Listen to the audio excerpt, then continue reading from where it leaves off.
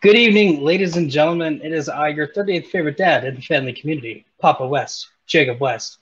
And no, your mind is not playing tricks on you. I am not Aaron Canol or Aaron or whatever you want to call him, um, but I am stepping into the role. I was about to say stepping into the chair. You can't step in chairs, you sit on chairs. I'm stepping into the role of hosting for him. Um, he does a lot. He needs a break. I'm here to give him a break. Um, and since I do a lot of stuff, I was the perfect guy for him to ask, apparently. Um, but yep, I am here for a movie battleground match. Uh, we've been doing this um, kind of invitational tournament. You win, you get thrown into the winners tournament. You lose, you get thrown into the losers tournament. Uh, and we are continuing that. Uh, it's fun. Most matches we've had we have seen a veteran take on a rookie. Uh, this is one of those weird ones. Uh, we have someone who has never taken part in the debating at all versus someone who has never done movie battlegrounds before, but has done a lot uh, as far as the debating goes. Uh, today we have Jonathan Peck, the head, uh, co-head of Sports Brawl, uh, who we have seen do a lot in uh, especially late TV fights. I know when I was running that, um, competing in there, but then also hosting a crap ton of sports brawl matches, taking on Chad Webb, uh, who I know a lot from TMG Trivia. Uh, we've seen him once in singles. We've seen him in teams. We will see him a lot more in teams. But you don't want to see my beautiful face throughout the entirety of this we want to see people yell at each other. So I'm going to go ahead and bring in first Chad uh, to kind of see how he's hey. doing. Chad, how's it going today? Hey, it's going great. You know, I've been uh, preparing for this. You know, just watching some of these great movies, some of these not so great movies. Um, you know, as far as the debate stage goes, yeah, I haven't really formally um, debated that much. But hey, uh, I was a huge fan of movie fights. I watched every episode of that thing, and it's just something I've always been interested in, and I'm excited to be able to try my hand at it. Definitely, move. Uh, movie fights is kind of where we got the idea to do this. Yeah. Uh, but finally, finally getting your feet wet um, in the in the debating something everyone has to do. Eventually, we'll see how it works out. Yeah. Um, I'm going to go ahead and bring in your competitor to do the same exact thing to him. Uh, I'm also going to kick out Chad at the same point. Jonathan Peck. Uh, Jonathan, uh, you practically run Sports Brawl. Um, you, you just had someone come in to help you out, but you're still the main guy in that. Uh, and then we've also seen you debate in late TV fights. Finally, getting into movie battlegrounds. How are you feeling today? Tired. tired of not only uh, it's very hot outside and also tired from basically hurting my back and brain Sports Brawl. Luckily, I have someone who can help me out on it, so I don't want to throw it out again. So, and the person is very nice. They're very charming that one that way. And well, this is my first. Yeah. Well, for me, this is my first time on Battleground. I, I just a couple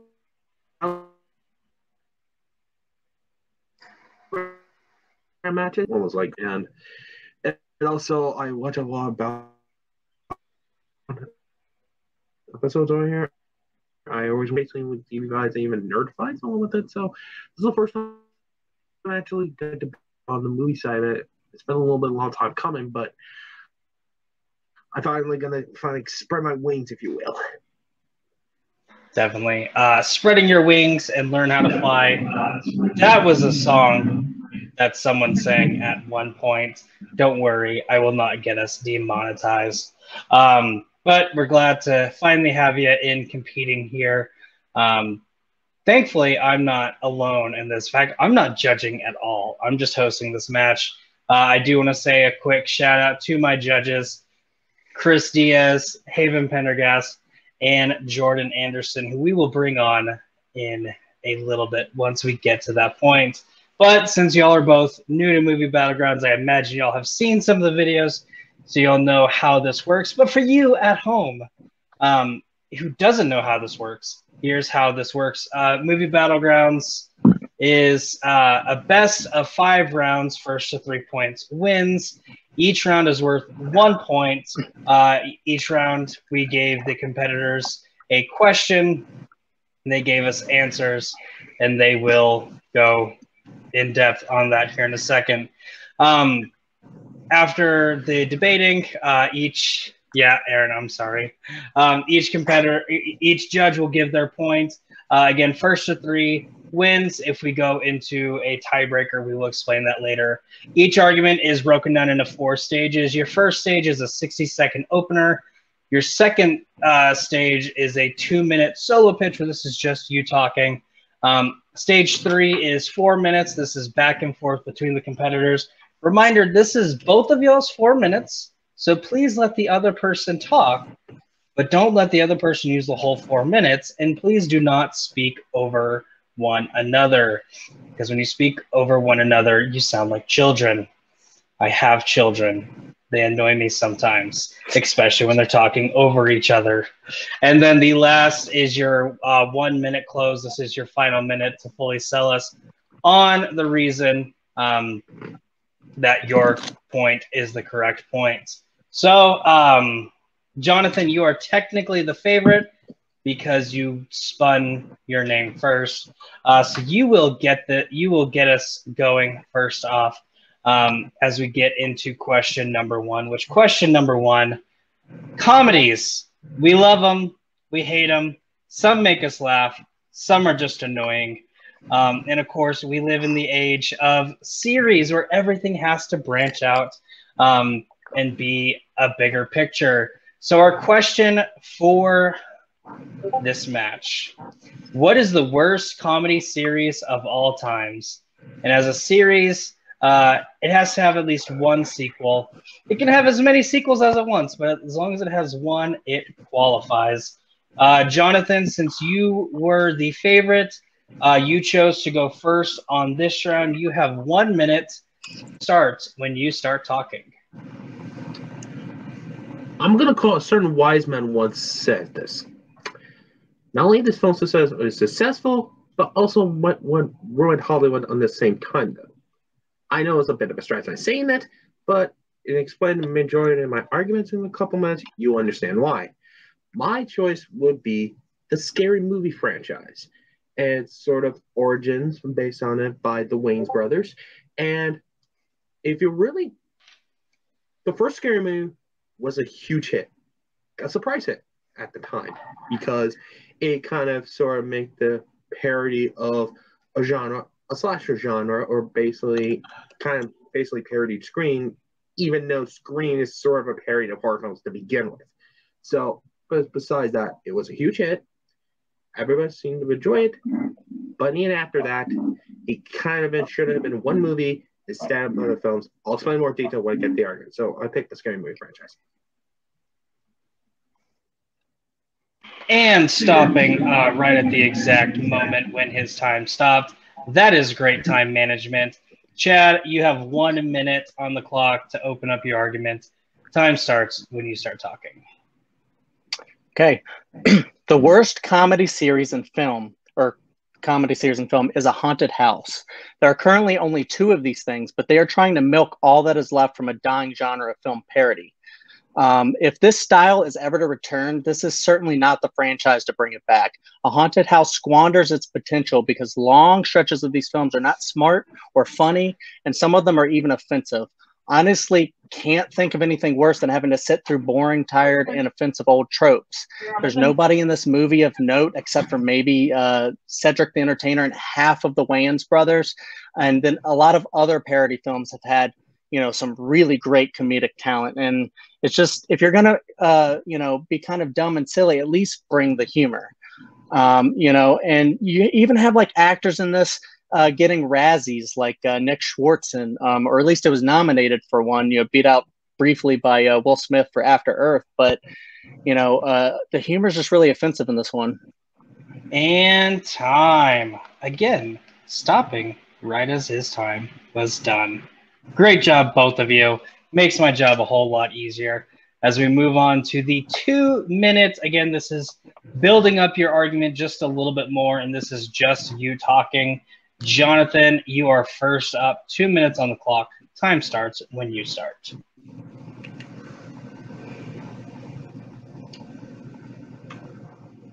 What I mean by that, it's sort of kind of failed was failed with Hollywood though.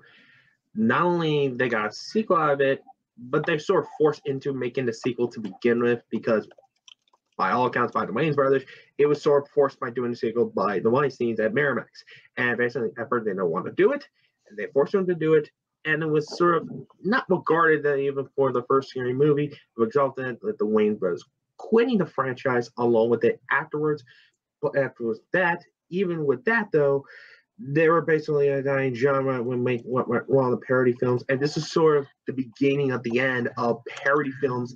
Along with it, it was sort of like even more crass humor, mean humor, what you're joking around to begin with, and it just was never gotten more mm, to do. And speaking around the humor along with it, you go back even like we watch even the original even films, a lot of humor don't age that well. Apparently, even the first movie, like you know, like a doofy character was actually sort of parody of Deputy Dewey. If you're really going to understand and try to do it, it just does not work at all. And I don't find sort of enjoyment watching it. Even people about parody, and it's just too gross for too much gross of it, and not even subtlety along with it. So that's the reason it's sort of not only the launch of franchise, whether they shouldn't have sequels, but they kind of launched the beginning of the decline of spoof films in general. Well, at least with your film, though, at least they're trying to fix what a nine drama has already been dead to begin with. Even going to try and fix the what went wrong to begin with as a whole. So I think that was a little bit trying to say right here, and at least sort of build up something very unique along with it. Even though Delta as a whole, at least they were trying. For us or the rest of this franchise, I don't think it sort of deceived any of it. Even after the wins are gone, it just got worse and worse and worse.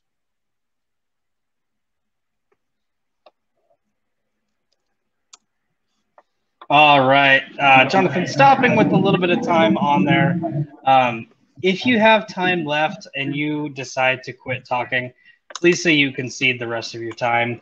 That way, we don't have that weird, awkward silence of me um, just waiting for you for that time to run out and no words coming out at all. But anyway, uh, that aside, Chad, two minutes on the clock to build your argument. Time starts when you start. Hey, uh, parody films getting worse and worse over time is is actually correct. I mean, the scary movie franchise, you know, started to it, it, a part of it was kind of genius. Like I watched some of this, and you know, they were uh, you know built building on they were using a lot of the editing uh, techniques, and especially Scary Movie two, and in the first one, the first two. Um, you had a lot of like great scenes with like the um, beginning of parodying The Exorcist, where um, you know they they they're all surrounding the piano and then they just uh, performed the uh, uh, what a shake your ass or whatever.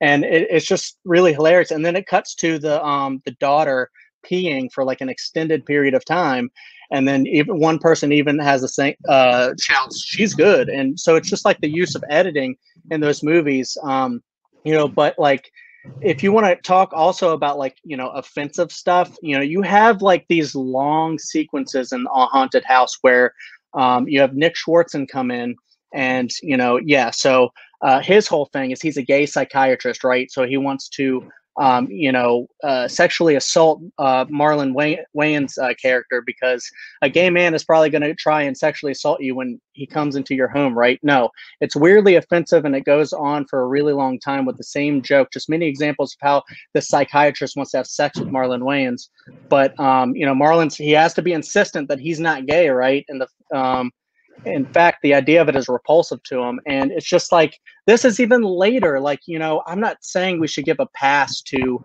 you know scary movie for anything that it did in in its past but even later i feel like we should be even more uh you know hard hardcore against it because you know we're com- we're coming to an age where we should be more accepting of people and i just feel like this movie just didn't really make good use of its time whereas the scary movie franchise certainly did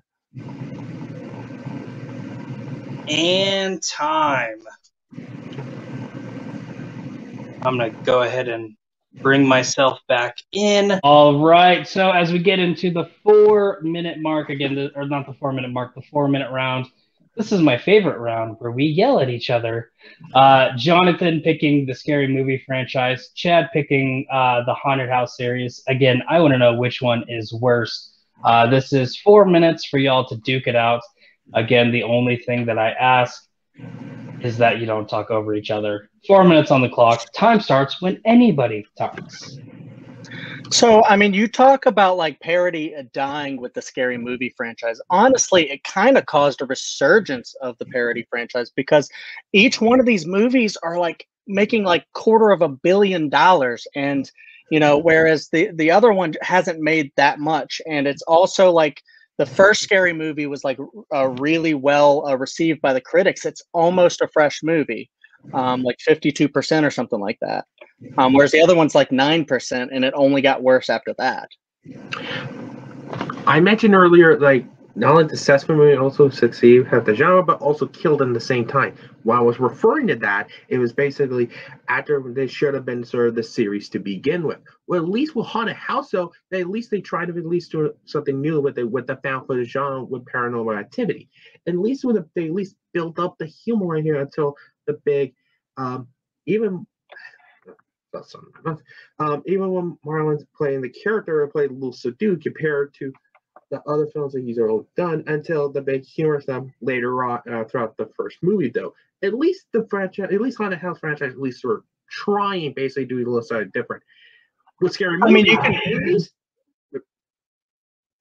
I was just gonna say, I mean, you can you can try all you want, but like that doesn't mean you're gonna succeed. I think Scary Movie really tried. They like had like some like great cinematography and editing in their their shots. Like they had like one joke just to show like the care and um you know preciseness of the shot where they have like all the flies coming in when the priest skips out on his taxi goes up and then he's uh you know saying these like prayers like the demon exorcise it and then it turns into like a, a diarrhea joke. And but it, and diarrhea is not necessarily funny on the face but the way they do it with the editing and just like you don't see him on the toilet until the very end when he actually goes to the bathroom and i think that's brilliant whereas in a haunted uh, house you know you have that whole part with nick swardson coming in and the tiger joke is just he's gay so he's going to be you know sexually attracted to marlon wayans and then you have other types of tropes in this franchise where it's like, oh yeah, the black people are going to be in the house up against the the ghost, and of course they're going to be the ones that are going to run away because they're not like the crazy white people who you know would stay in the house basically. And I just feel like it's just tired and it's not going anywhere. At least they were trying to do something a little subverted though. Well, granted, I will give you the name of the first movie, but even afterwards, it just kind of got worse and worse and worse with it. At least it stopped being trying to be more clever in there even after the Wayans left for after the second scary movie, they did try like the old like parody things on the book. It's kind of sort of losing his sort of his little bit of a charm, some idea what they're trying to do in the first place. Even sometimes parrying movies that even is not even the horror genre. It was just parrying what movies is 10 tropics of the week though. It just lost you authenticity. I mean, try to parody to begin with it doesn't matter if they're parroting stuff in the horror genre. It's just a parody film. Like if they bring other topical stuff from the time and they are ma- able to make people laugh about that, I think that's great. And Scream's one of my favorite franchises. I think they did a great job of just kind of like subverting like that thing. And you said it's kind of like a negative to take like something that's kind of comedic. Where I strong disagree. I think Scream is a great horror film. And then um, you know they they take it and they make it like so smart. Like they have the joke where you know she goes to uh, get a weapon to defeat Ghostface, and she has a grenade, knives, and a banana. She chooses the banana. That's classic comedy. That's There's nothing like, like that in the haunted house films. It's not smart. At least you try to get out of the horror film. They would try to pair something else. It's just not that clever. And time. All right, gentlemen, we are at that final moment uh, of these rounds. We are at the closing. Uh, Jonathan, since you started us off, you are starting off with your closing. One minute to fully sell it. Time starts and you start.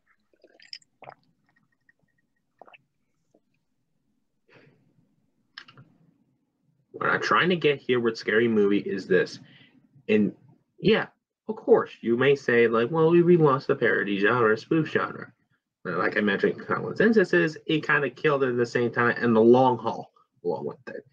The reason I meant by that because we got some other party films, and then afterwards, it kind of like it was sort of making around it afterwards it took maybe the wrong approaches when scary movie trying to do as a franchise got even from well, worse even with the sequels in general it would basically even the it kind of launched with epic movie and extreme movie or even date movie along with it to arguing not only bad parody films even worse movies i felt like if it doesn't be a franchise to begin with or even worse comedy series around that point though i think scary movie might be a compliment if you keep like maybe one movie, oh, they would be more fun along with it. If they keep dragging on and on, it just later to that point, it will be not that funny anymore. All right, and time. With that, Chad, it is your minute to close us out. Time starts when you start. I think Scary Movie came in and it revitalized the parody genre from the back from the days of Airplane. And, you know, I don't think it matters like, you know, if it tailed off, I think – a haunted house is just one of those big um you know kind of like things coming from scary movie but like it's that's why i think it's the worst because like it doesn't do anything original anything inventive anything um you know funny it's not even enjoyable to watch like you know scary movie at least has like all of these great, you know, talents in there. It's got Tim Curry in the second one, David Cross in the second one, Chris Elliott in the second one, and they're all bringing it. They're acting, they're hilarious, they're crushing it. And you know, I was watching, I was enjoying watching these, but I had, I, I had no enjoyment of watching a haunted house at all. It was just the same tired and offensive tropes over and over again. It was just the product of the dying thing, but I think the resurgence came with Scary Movie. And time. All right, uh, both Jonathan and Chad, great job in this uh, first round. I was able to hear everything uh, from the four minutes on. As we bring in the judges, as y'all take some time, just some fact checking stuff. Uh, so far, the Scary Movie franchise, we have had five movies come out 2000, 2001, 2003, 2006, and 2013. Um, Scary Movie has the highest uh, Rotten Tomatoes rating at 52. They did uh, Scary Movie 2 was at 14%. Three and four were both at 35%. And Scary Movie 5 had a great 4% on Rotten Tomatoes. There is a sixth film being announced that should come out this year. It is said to um, spoof Child's Play, Get Out, Scream Season 3, Unfriended, It Chapter 2, and Happy Death Day, among others. Whereas The Haunted House, there have been three films uh, that came out in 2013 and 2014. Um, 2000, the first one had a 9% on Rotten Tomatoes, the second with an 8%. Back in 2018, there was supposed to be a third film, but it was soon canceled after they talked about it coming out. So, with that, uh, Chris, I have you here first. You look like you're ready. Who is getting your point and why? So that's why I get back and forth debate. Um, at the fan of one of them, we get back and forth debate. But I think had pull out the right at the end just because getting more example of why his film was bad. The things which I'm pulling out fast, I wanted to hear more of an example for some of this film because it is a bad word commentary. And Chad Kill at the end mentioning how count out his offense and, you know, killed these group number. And that was my over Yeah. All right. So, Chad getting the first vote. Haven, I'm now moving on to you. Same question I asked Chris. Yeah, I'm gonna go. With, excuse me. I'm also going with Chad. He just brought in a lot more. You know, he made a case why his movie was worse, and he made a lot of good points as why Jonathan's movie wasn't the worst in the series or in history. So I'm going with Chad. All right, Chad, uh, getting it. Jordan, uh, because it was a unanimous decision, I, I don't need your opinion, but I will ask you one thing. Take my strong hand. With that, uh, I will kick all three of y'all out. Chad getting the first nice. point as we move. Thank you as we move on to question number two.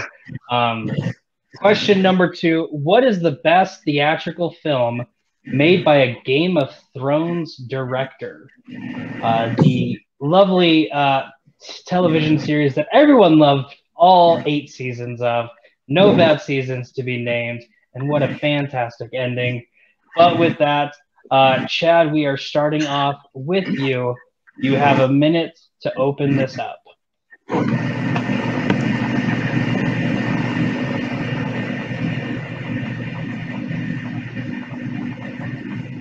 Okay.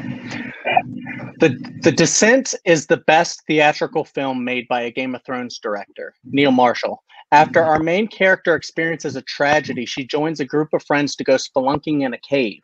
Little mm-hmm. does she know, one of the friends picks a different, unmapped cave that leaves them all trapped and fending for their lives from the horrors within. Neil mm-hmm. brought so much care and detail to this film by building these elaborate cave systems uh, set that make the film feel so claustrophobic. It really raises the stakes of the movie while keeping the actors safe.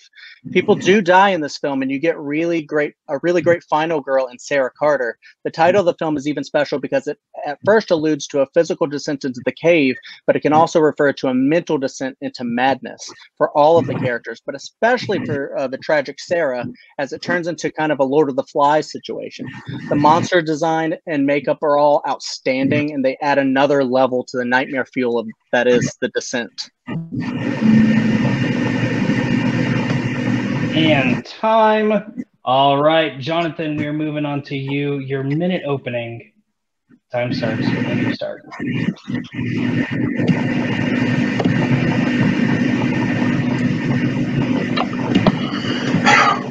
Mark Mylod.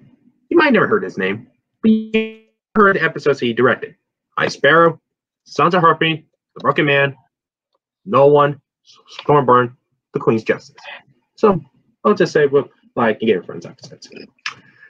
There's a film he did, and I just want to get this year correctly. I think it's the year 2002, if I'm agree. It's a comedy about what is a not technically not only sort of documentary by time, but a film that very much interesting. And this man directed a movie called He Directed That. And the reason why he directed that, because it's such a good. And I the reason I picked that because it to kind of proves this little surprise that he actually directed that. And funny with it. So I'll explain more detail to that. So there'll be allergy at the house. And time. All right, so we have Jonathan with Ali G Indahouse, Chad with The Descent. Chad, we are moving on to your two minutes uh, to build your argument. Time starts when you do.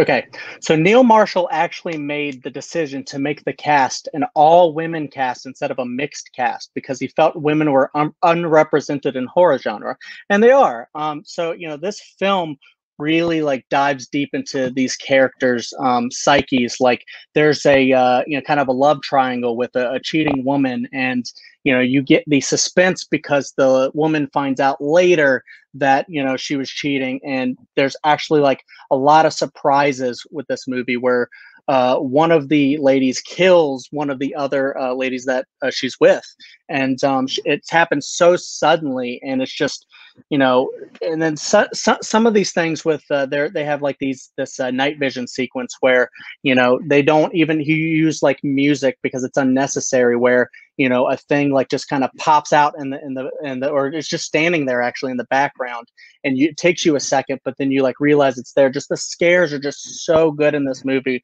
and i just really applaud that decision to you know build real sets, include a lot of like great women in this, a lot of unknowns, but like they really brought it with the acting. Whereas for Ali G, like I thought this was going to be like Borat, like really good, where you know you had he's the character, and then he goes and he has like the the real like reality reactions from a lot of different people. But no, it's entirely scripted. You waste a lot of performances from like Michael Gambon and Chris Dance. They're in this movie and they feel so wasted. It's just a bunch of jokes about how his penis is huge and about, you know, making uh, fun of women, like fat women and fat people in general. And it's just like a lot of really lame, offensive jokes. Like they're talking about like a little boy's pubes or at some point, and I'm like, that's not fucking appropriate. And I'm just like, you know, I don't understand the comedy in this movie and why they think a lot of the stuff is funny, but it just doesn't really work.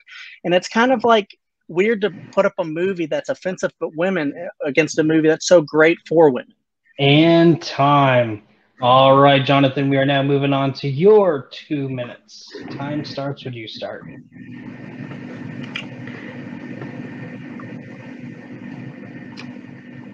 Okay. You mentioned Borat. At least we have Borat in the movie. At least we got well-established actors in there, like Michael Gambon, Charles Dance, Martin Freeman. At least they have well-established people in there. Yeah, comic can be very subjective, and let's be honest, that's more Sacha Baron Cohen doing after this movie event. So let's be honest with that. But this film was kind of sort of the starting up point and even curiosity kind of launching point who Sacha Baron Cohen was. And would do sort of the Borat afterward story, which kind of more of a linear protect this schoolhouse along with it and basically try to do anything kind of without being sort of demolished. That's how he does everything what he does along with it. You have that beginning dream sequence in the beginning of the movie, which is hilarious. And it's just sort of like basically so over the top and natural. Like natural, just so over the top. You felt like it's a little too extreme along with it. And basically, when the drug humor along with it, it was just sort of like that we all kind of know the South American later on though, and this is sort of the starting up point along with it. And I think without this movie, I don't think we had sort of get sort of with Borat and any other comedies. I want comedies for him that would do it go better. Fourth, the set, though. Look, I like the descent. I love the movie when they do, and you're right about one thing though. Women, this isn't them breast expectation more than horror that way it should have.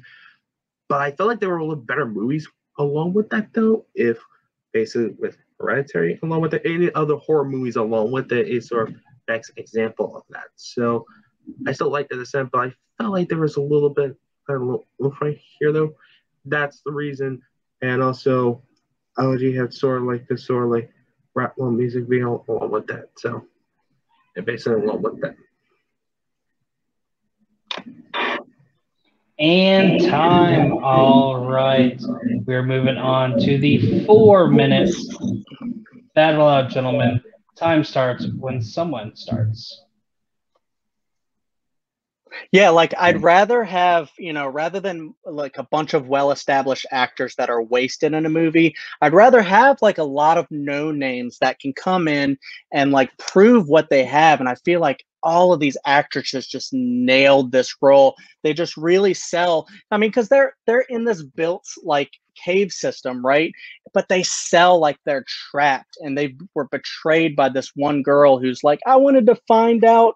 I wanted us to discover this cave system, but then you just, you know, realize that everyone it feels such betrayed, and then the uh, the um, tragic uh, nature of this one girl that uh, you know, has to sell that. And then she becomes like this great final girl. It's kind of like Ready or Not, like great movies like that, where she ends up like all bloody and she's like badass and just wailing on these monsters. It's just so great. Whereas Ali G just like, it just squanders. I mean, yeah, comedy's subjective, but like, sometimes it's just like you know offensive and i just feel like you know it's it's just weirdly contrasted with the the straight performances from the you know the well established actors like Martin Freeman embarrasses himself in this movie. It, it's gross. You mentioned Ready or Not, though. I will argue that that's a sort of better point when you point out earlier with The Descent, and I think it was a better movie that was kind of wrong with it. With Ali G, I know it's a little bit weird to see these actors apart, but, but that's the point of the sort of the movie, though. It took a little sort of absurdism when it do it, and that's a credit to Sacha Baron Cohen as a performer in general, though. He took some maybe weird absurd ideas put weirdly stylish actors along with it. And now it's sort of like sort of a character, it's sort of at least a sort of story along with it. It would basically it's a little simple story. He's basically trying to save a school along with it from the prime minister. So basically he did everything along with it. He caused some shenanigans along with it, and basically, yeah, the characters will progress right here, but that was basically thrown along with it. So they did everything they could. At the end of the movie, posted he becomes like the British ambassador to Jamaica.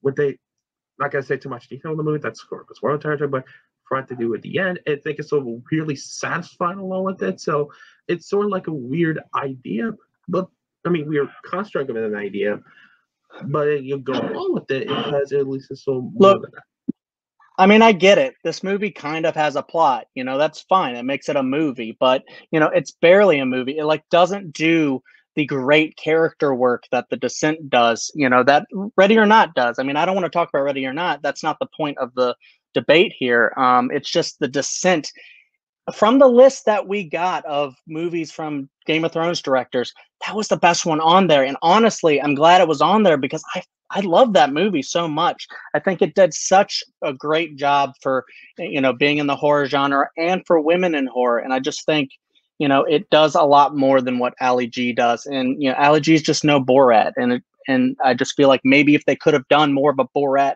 type thing, it would have been a much better movie because Borat's pretty great. I mean, Sacha's got skills; he just didn't show it in Ali G Indahouse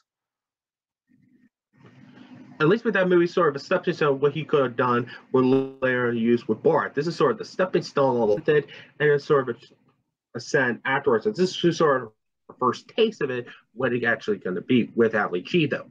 Well, like I said, with The Descent, still a good movie, and a lot basically moves along with it, but I think there are other horror movies along with it that did a little bit better. At least with Ali is a little bit more out there, but at least you'll go along with it sure. when it's a certain. I agree that The Descent is a good movie. I would say even a great movie. I don't think Ali G is even a good movie. It's stupid. Time. Well, All right. Again, great back and forth, gentlemen. Uh, we are now moving on to the one minute close. Chad, since you started us off, you will start off the closings. One minute to finish up this argument.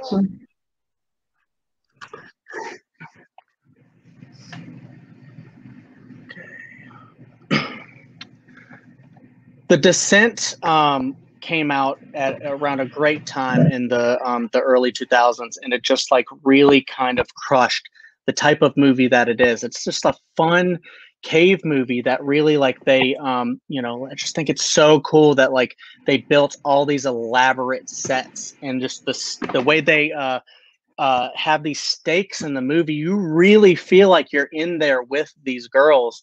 And, you know, they go through some crazy shit. It's really on the edge of your seat horror. And I just feel like, you know, it's so well done.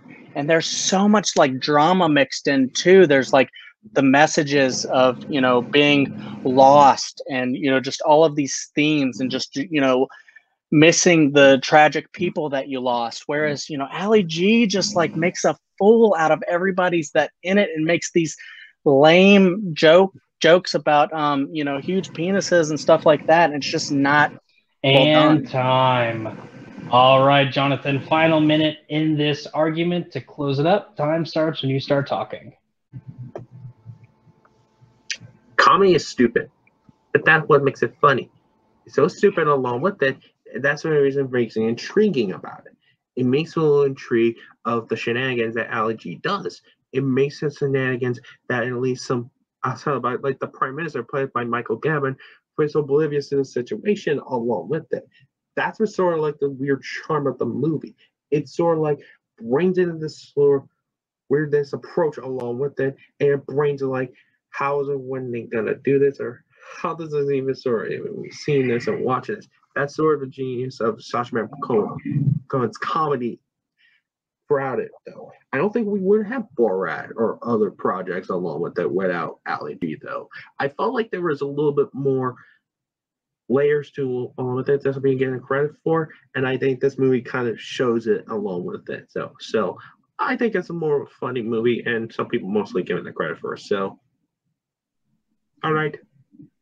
And time. All right, as we kick both these gentlemen in the back and get our judges for the judging phase. Uh, Chad, who picked The Descent, directed by Neil Marshall. Neil Marshall directed two Game of Thrones episodes, Blackwater and Watcher on the Wall. And then Mark Mylod, uh, Jonathan's pick, six films, including Broken Man and No One, which ended season six. So, with that, are my judges all ready? Yeah. All right, Haven, we're going to go ahead and go to you first. Who gets your vote and why? Uh, I'm going with Chad. Um, he picked The Descent. He made a great case of an all women's cast. He made a great case of the empowerment of women, and he uh, the opposing argument he made, which um, the film by Jonathan was offensive to women, lame ass jokes. Uh, the Descent had badass a final girl, and quote Chad, August, uh, whatever day this airs, 2021. He said, Ali G is stupid. End quote from Chad. So I'm going with Chad. All All right. Take his picture, uh, make a quote out of it, post it everywhere. Jordan, we did not talk to you last time. We will go ahead and talk to you now. Um, who gets your vote and why? And you are muted just to let you know.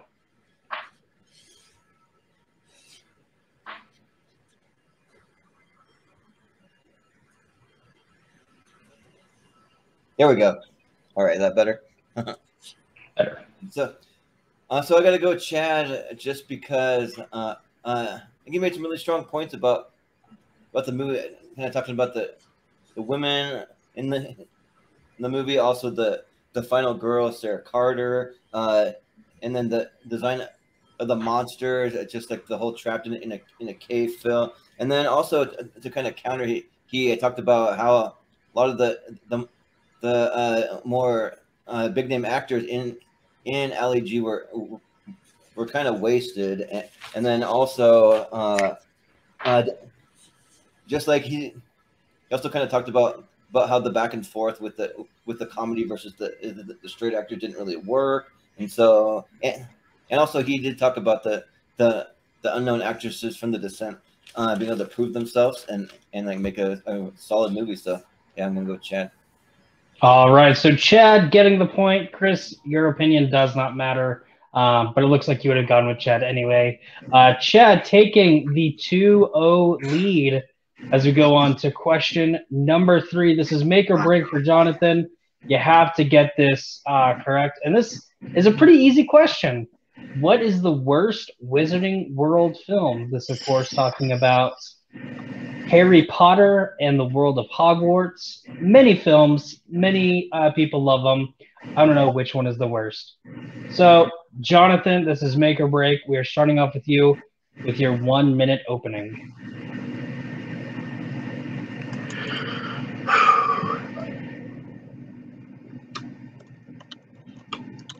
I think as a casual somebody, you want to get into the Harry Potter movies.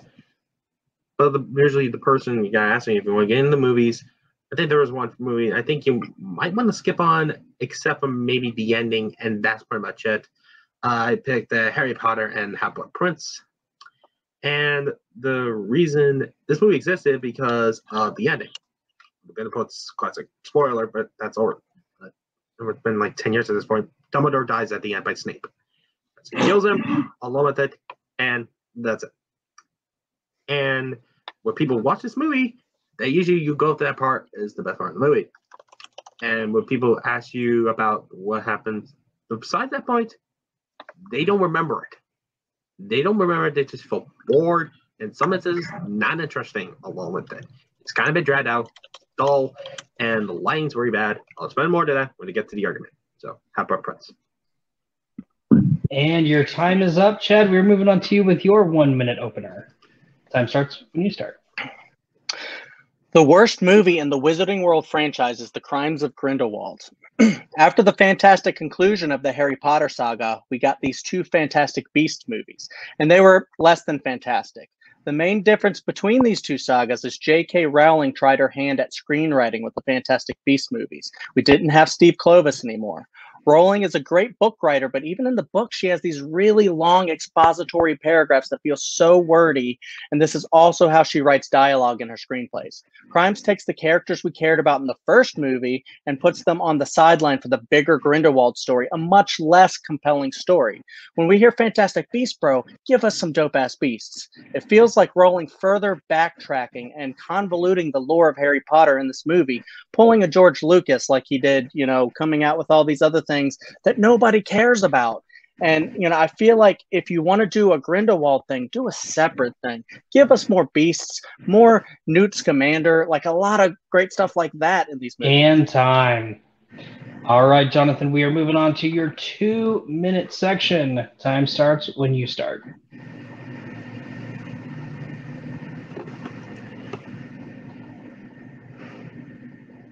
Today with the half bar prince is this. If you watch through a movie along with it, and majority of the film is sort of love interest right here, or sort of a fake potion along with it is some weird unbalanced comedy right here, when majority of the story along here is sort of a dark crazy themes along with it, it doesn't usually match very well. And I mentioned you mentioned Grindelwald on here. I to think, let's just put people me. This is sort of a prime example of David Yates, majority director films afterwards, though, kind of like doesn't know how to sort of like what his really his style is. It was just more of a bleak idea. It just doesn't feel it. It kind of drains the color out. It would just kind of looks ugly to look through that, and it just was not very interesting.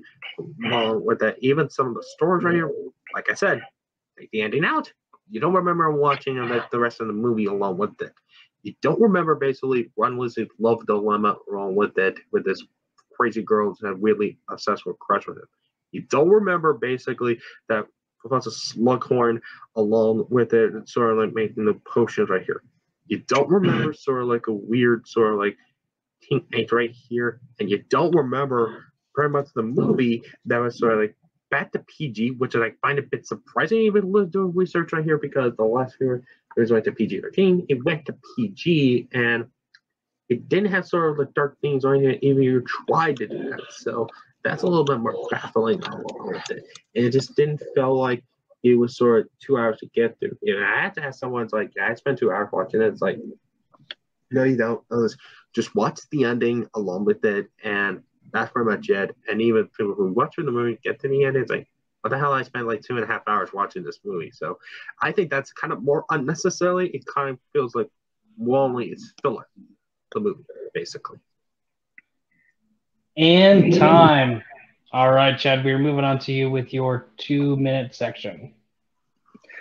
You just said something about people watch this movie and go, uh, I don't know what I just watched. That's Crimes of Grindelwald. Pretty much unanimous, uh, them saying that when Crimes came out.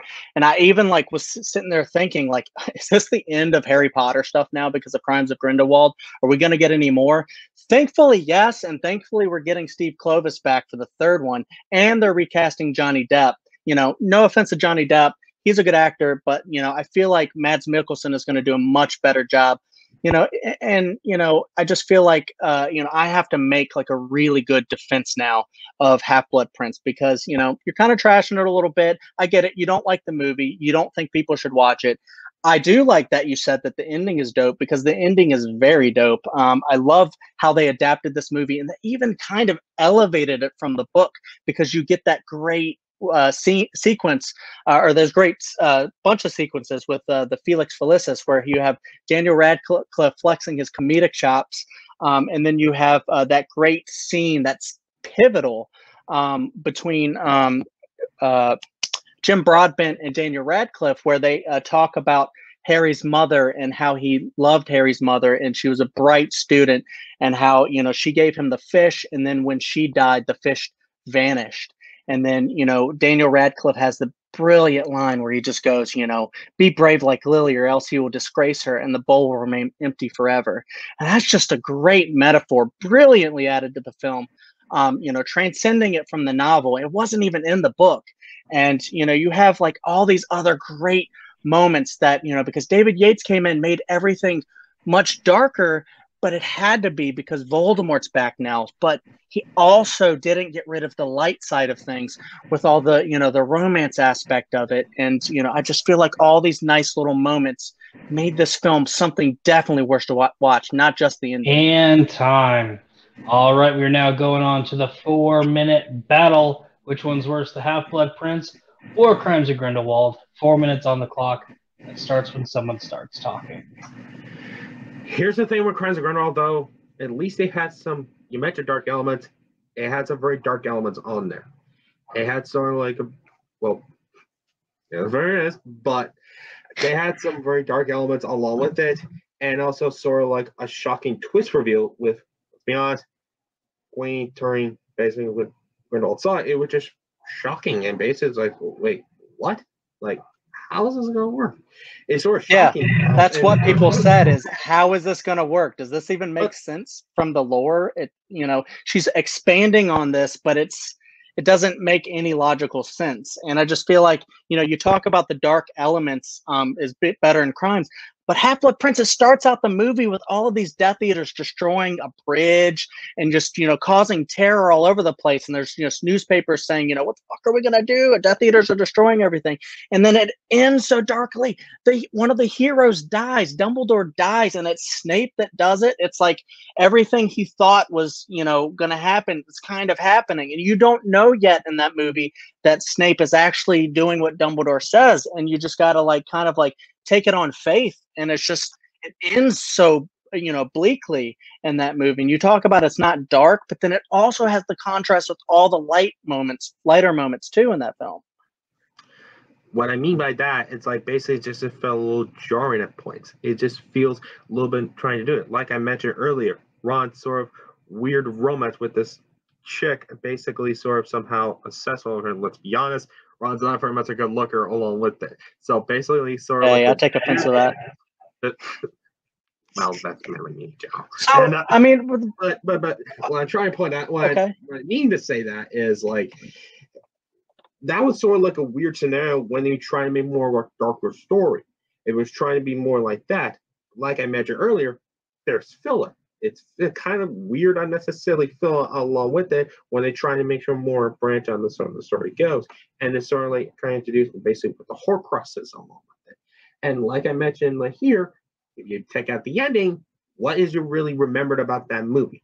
Take it out of it. A lot of stuff. I say with Grindelwald, though, at least you had some instance going forward, though. You have a even though it's a bit short amount of time, you have a very good performance by Jude Law's Dumbledore, young Dumbledore, by the way. It actually had the sort of by Nicholas Flamel along with it, and that was actually uh, some of the better relationship of Newt Scamander and Jacob along with it. When we branch out from the first Fantastic Beasts, at least there's some of the dynamic was there, at least some levity. So you want to talk about like the romance being a weak part of the movie? I think it's great because these kids are now like 16, 17 years old and you want you want to build these relationships. You want to show because you in the series with ron and hermione getting together this is building on that. This is showing how they get together and ron builds up his confidence you know with the quidditch quidditch uh, keeper and um, you know he yeah he gets lavender brown. It's kind of a tryst but it it makes them fall more in love. And I just love these little light moments that just give the franchise heart. And you want to talk about performances too? You have Tom Felton in this movie. Please do not forget about him. This dude brings Draco Malfoy, the kid that you hate for like five movies, and he brings this like great uh you know story with him where he's troubled he's trapped between you know wanting to do good for his school but then also wanted to please his parents and he doesn't want to die by the dark lord's hands. And you know you just have so much humanity and empathy um, you know you have empathy for him in this in this uh, movies. And when he gets Sectumsempra placed upon him you feel for him. And this is draco malfoy the bully. And time all right, we're now moving into the closing round. Uh, Jonathan, again, this is do or die, your final minute of the argument. Time starts when you start.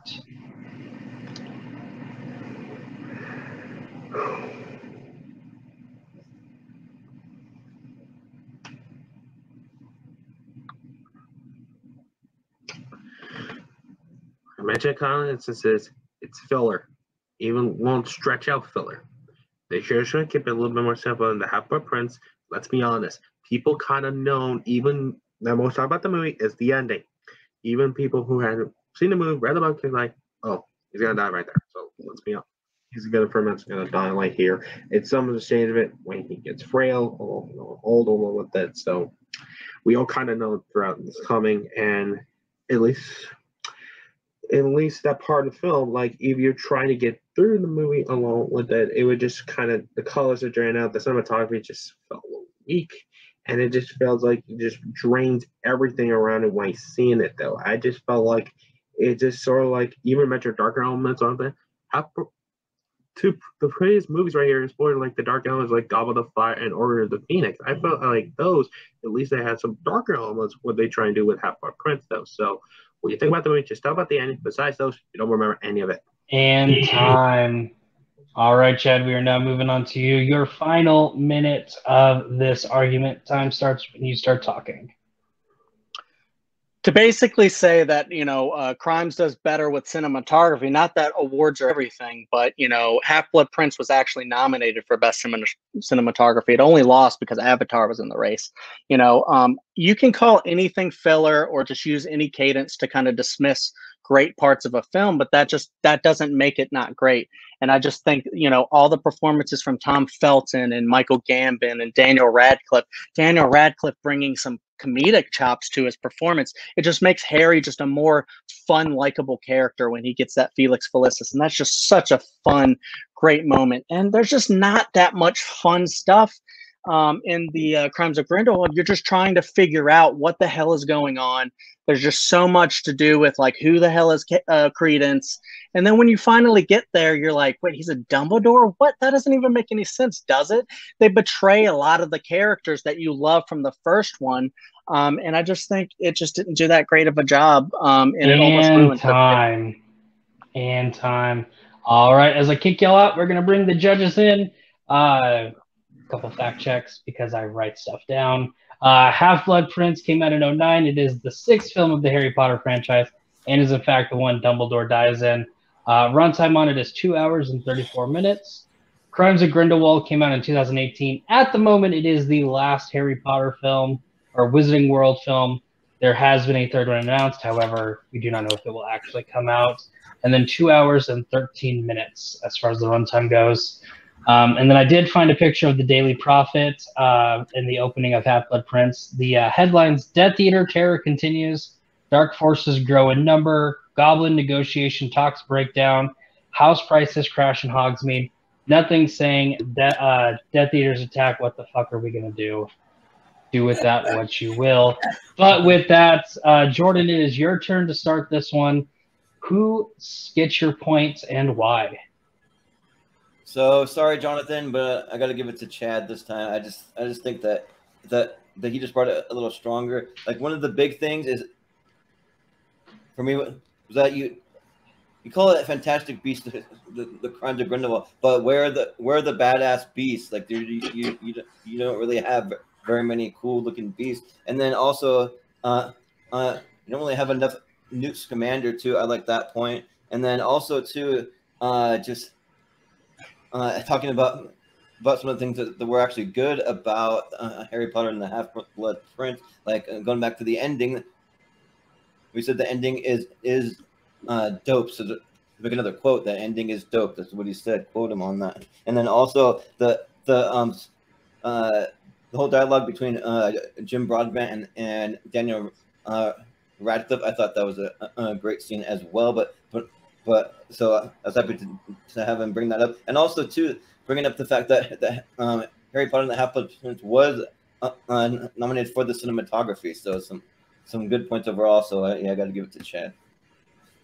All right, so Chad getting the first vote. We are now moving on to Chris.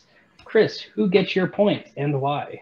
I let Hager beat it to Sunny Fast and everybody put on it, and I thought Chad had that first, but I think I was going to keep hitting back and back and try to keep defending print, but did try to comment any of the criticism of the positive things that was saying about kind of original was waiting for more, but Jonathan said keep going and going. I thought Jonathan didn't want me over again. Even though I hate trying to do a little more after I still Jonathan. All right, so we have one vote for Chad, one vote for Jonathan Haven. You are the deciding vote. Who wins this point and why?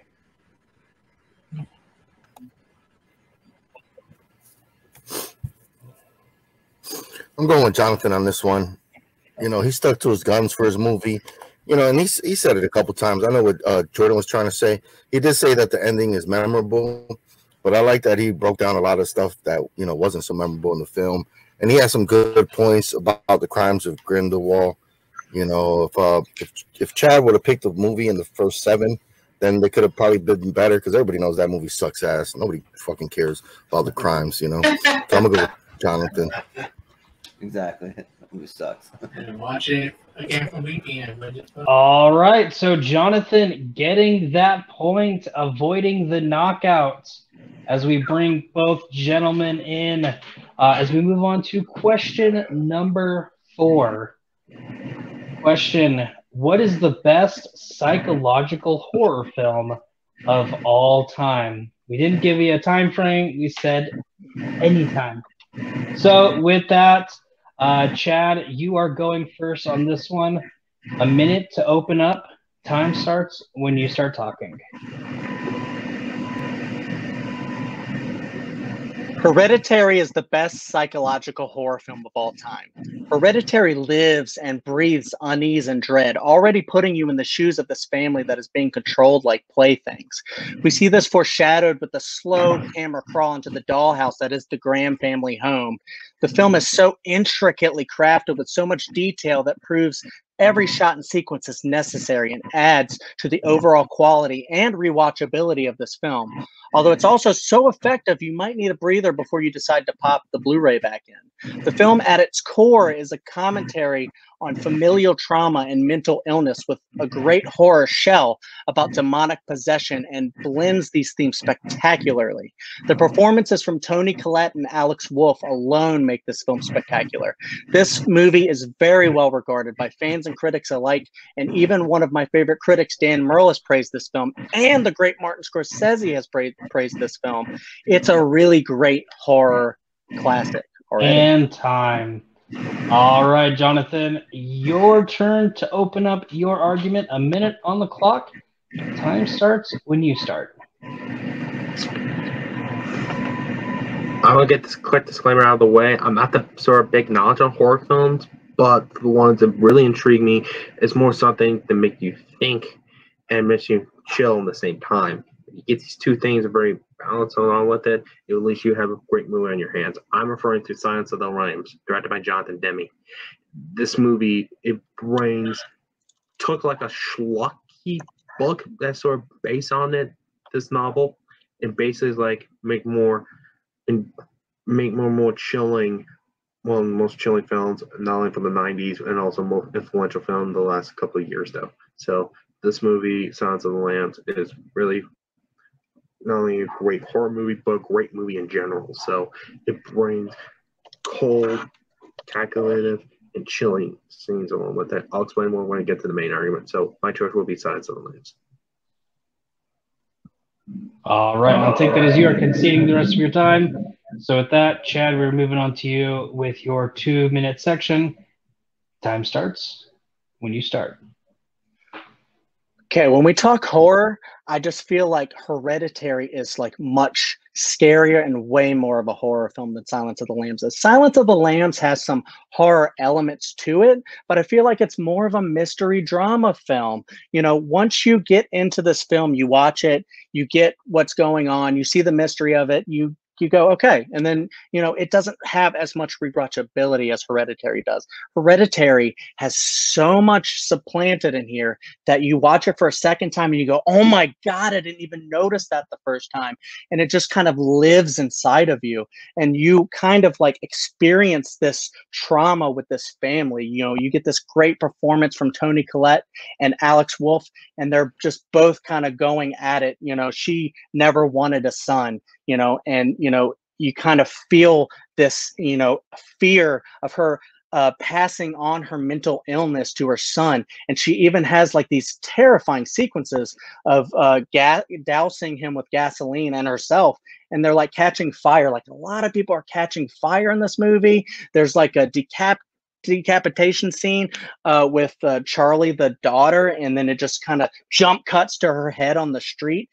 This is a terrifying movie, and then just the way it slowly uh, br- brings you to this conclusion where you know uh, they're they they lose in the end. You know, the one guy they they are all the um, cult leaders are uh, cultists are praising hailing Paimon, and um, you know they've lost. And in Silence of the Lambs, the villain escapes. It's just like he's he's basically um, you know uh, kind of praised in a way. Like you root for him to escape, and it's just not very realistic um, in a way. And there's also a lot of weird transgender stuff that goes on with that movie. It doesn't really hold up as a movie either. Time. All right, Jonathan, two minutes to build up your argument. Time starts when you start.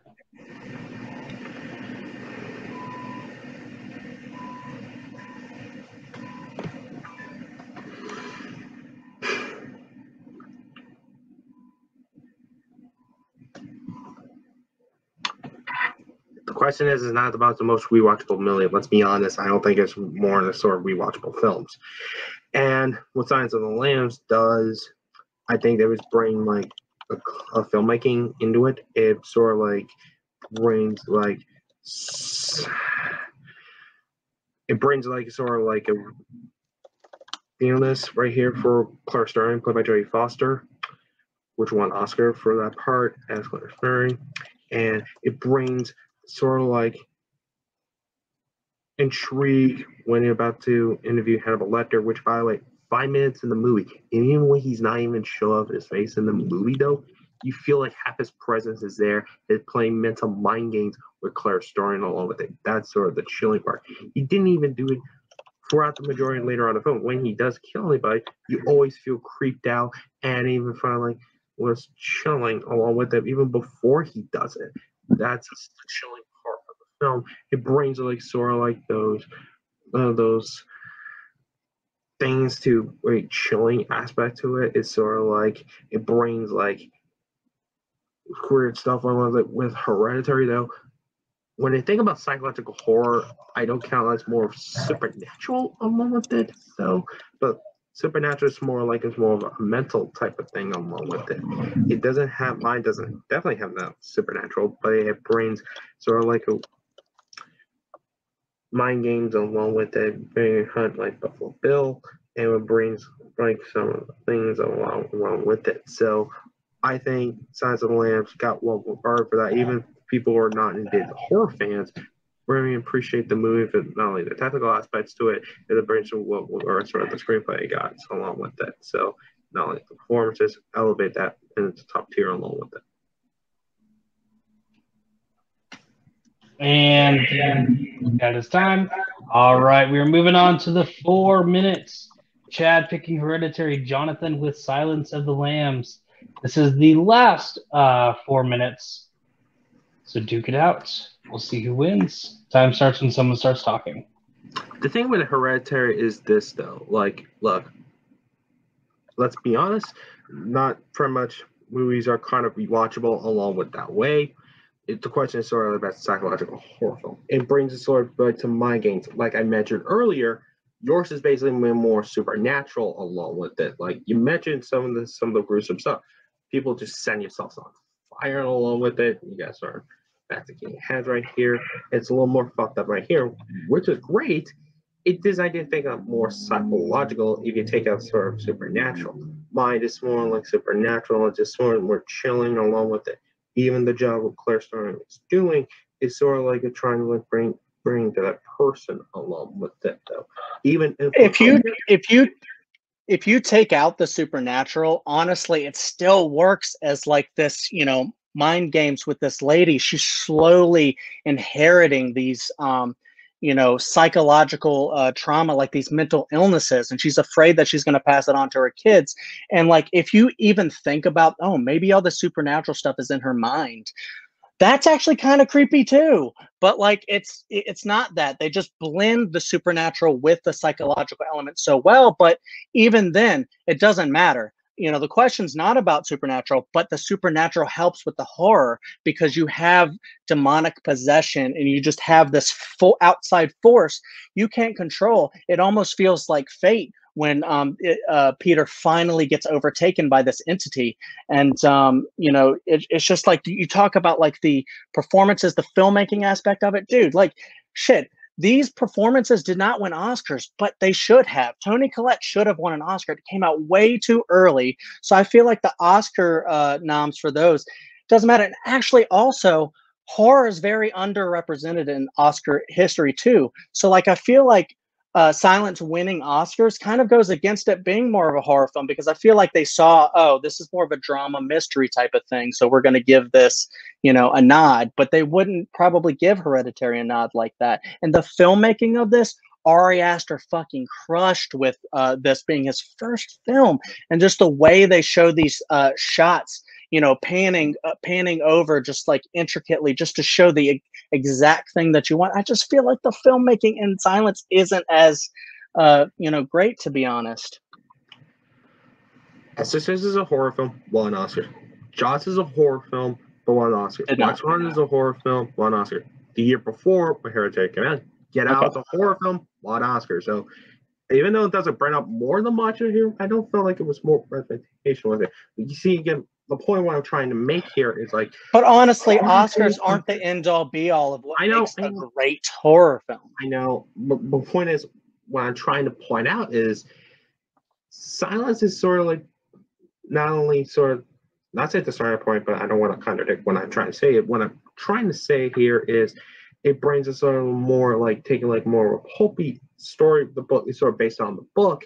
It brings like sort of more to warrant it out. So right here is a more endearing story along with it, which I could say, well, I don't want to make sort of puns when saying it, so more digestible, even more the darker elements right here. It's more of follow the characters. honestly i feel like the book goes into buffalo bill's uh, backstory way more and i feel like if they would have done that with this one it would have felt less weird with all the you know transgender stuff with it and um, it just kind of feels gross uh, to that effect and you know hereditary um, basically uh, you know it, it fucking puts you in this and it makes you feel so psychologically messed up um, after doing it. And time. All right, we are moving into the one minute close. Chad, since you started us off, it is you are starting us off on the closing. One minute to finish up your argument. I feel like Hereditary down the road is going to be like considered one of the one of the greatest uh, horror films ever made, one of the greatest films ever made. Ari Aster jumped in here with his first uh, one, and then he went on to make like Midsommar, and he's going to make another one that's even uh, just just as great probably. And I'm just like so excited for the future of horror with this one. Whereas Silence of the Lambs Lambs feels kind of dated. It doesn't feel really much like a horror film except for a couple parts. And um, Hereditary is a horror movie through and through. You see the tragic downfall of this, you know, psychologically damaged. Uh, you know, you see like an apparition just in the background, just lingering, and then you, you know, and then you see the shot of the mom up in the corner, and it just lingers on that shot and just lets you kind of go like, "Holy shit, there that is." And Silence of the just ha- doesn't have any scares like that, and it's just not that as psychological. And time. All right, Jonathan.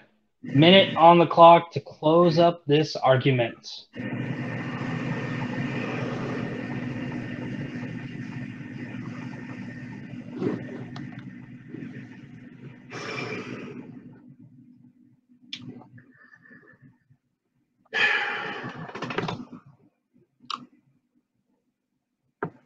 Signs of the Lambs, it brought you to, like I mentioned earlier, the mental mind games to it.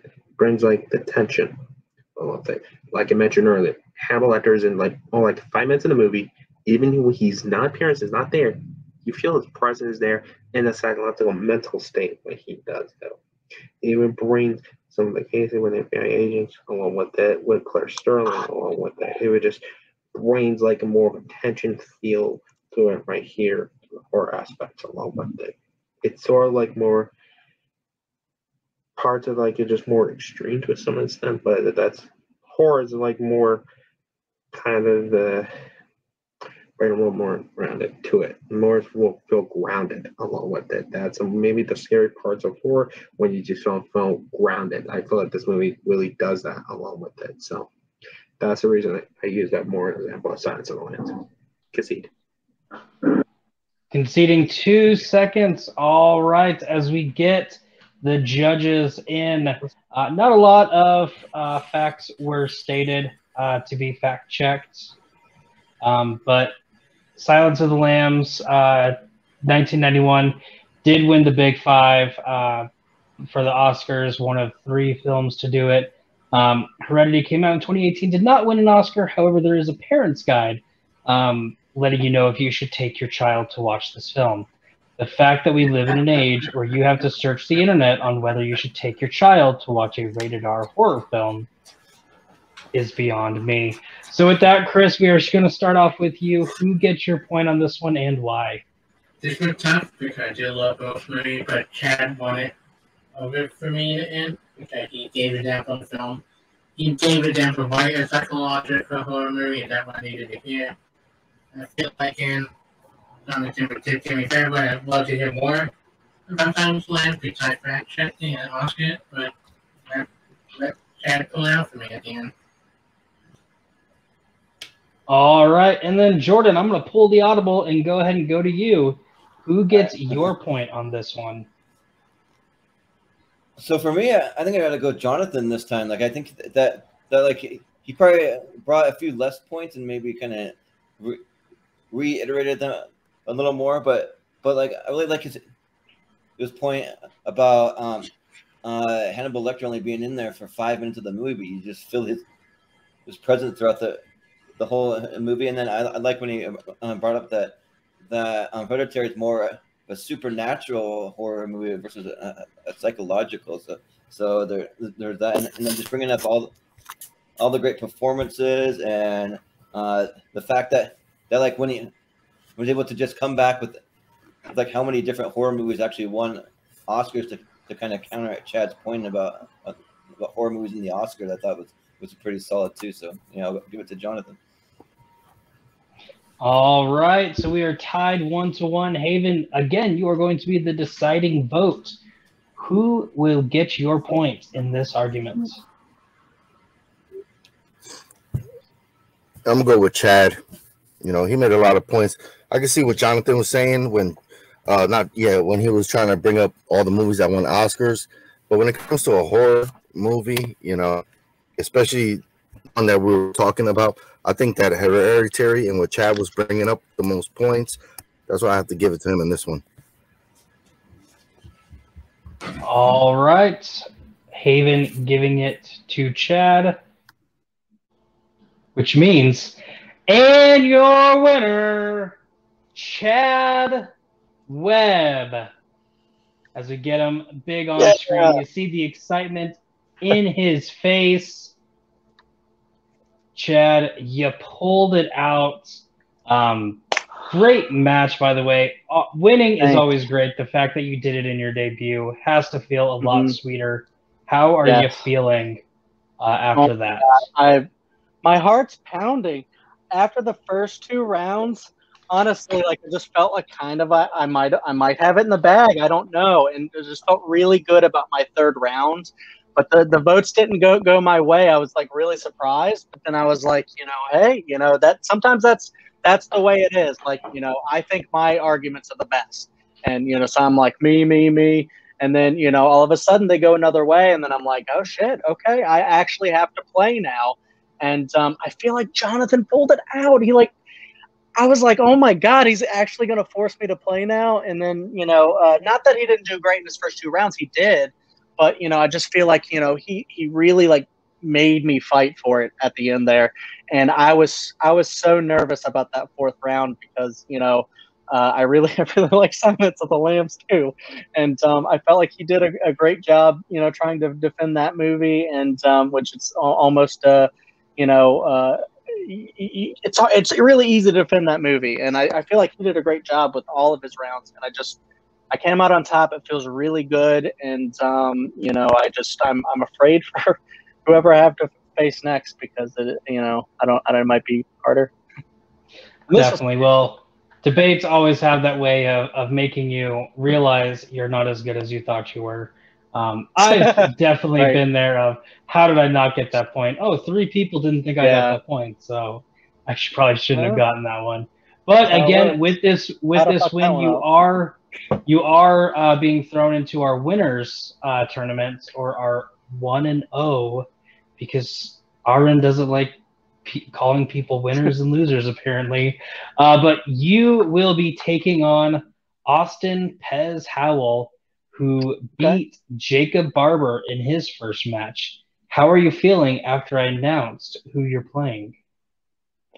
Honestly, I mean, I don't know him that well. I think uh, I think he may judge a little bit and stuff. You know, it, it seems like you know if it's the same person that I that I'm thinking of, you know, uh, he might know a lot of what he's talking about. Obviously, he won you know so you know it's just going to be a, a, tougher thing knowing i'm, I'm going up against a, uh, a strong competitor well uh, you know a strong uh, maybe a stronger competitor i don't know i don't want to besmirch any any of my uh, past components uh, opponents but um you know yeah i mean i'm to have to bring it if i want to stay in the uh, 1 and 0 or if i want to become 2 and 0 so you know um I, i'm excited but nervous Definitely. Well, we look forward uh, to see you hopefully continue move forward in that tournament and not just be a one and done. But with that, I will say adieu as we kick you into the back and I bring in the second place finisher, Jonathan Peck.